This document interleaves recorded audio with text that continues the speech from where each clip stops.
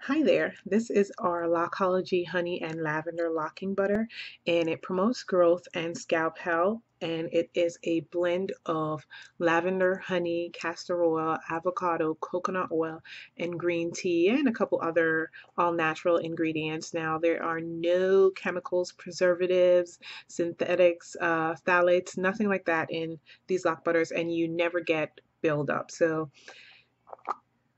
And it smells so good. It has like a light lavender and honey smell to it, so it's just very light and sweet. It's not too strong or overpowering, and there are no synthetic perfumes or anything like that, so you're getting a natural lavender smell to it.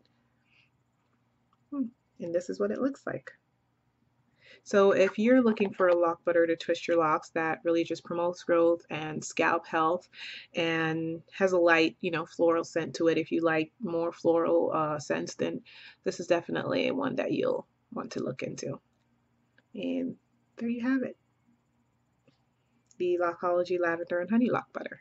Bye.